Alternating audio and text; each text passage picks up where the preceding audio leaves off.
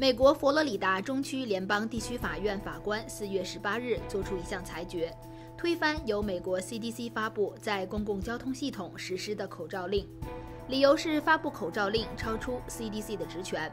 而且没有遵守适当规则制定程序。美国白宫新闻秘书普萨基表示，联邦政府对这一裁决感到失望，同时呼吁人们使用公共交通系统时戴口罩。CDC 此前表示，目前正密切监控 BA.2 亚型毒株的传播情况。该毒株感染病例已占美国近日新增病例的百分之八十五以上。据约翰斯霍普金斯大学数据，截至十八日晚间，美国累计新冠确诊病例数超过八千零六十八万例，累计死亡病例数超过九十八点八万例。据 Fox Eleven LA 四月十九日的报道，警方表示，TikTok 上最新兴起了一个名为 Orbeez Challenge 的挑战游戏，正在呈现亨廷顿海滩引发越来越严重的问题。这一挑战鼓励人们使用被称为凝胶喷射器或凝胶球枪的射弹射击器进行飞车射击。警方表示，在某些案例中，这些装满水的凝胶珠还经过了冷冻处理，以加强其射击效果。今年，他们已经接到多个市民的报警电话，称被水弹枪击中。本月，至少有一名未成年人因使用这种枪射击另一名未成年人的面部和身体而涉嫌袭击轻罪被传讯。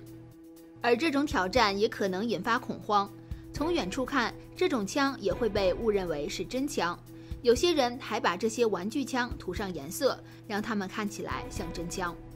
亨廷顿海滩警方说，他们正在打击此类事件。如果造成人身伤害或私人财产损害，可能会导致轻罪或重罪刑事指控和民事诉讼。特斯拉 CEO 埃隆·马斯克四月十九日表示，愿意投入一百亿至一百五十亿美元的自有现金来竞购推特，并计划在十天左右的时间内对推特发起收购邀约。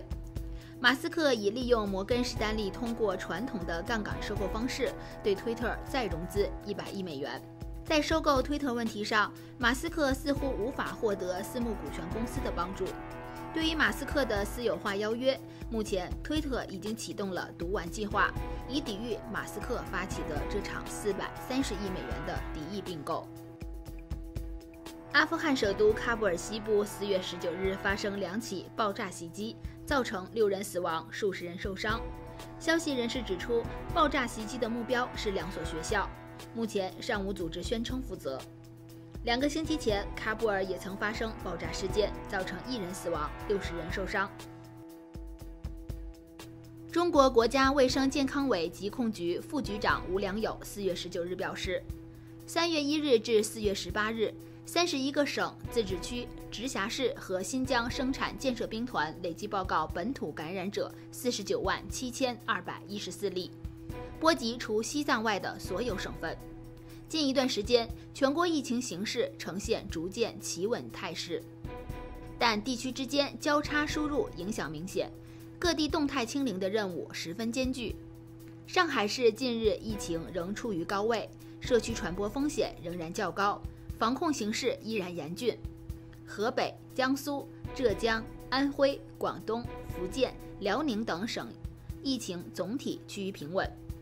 中国疾控中心流行病学首席专家吴尊友介绍，动态清零虽然不追求零感染，但是要消灭疫情，必须打断传播链，没有新的感染发生。动态清零是以最小的社会成本获得最大的社会效果，是中国新冠防控的最佳选择。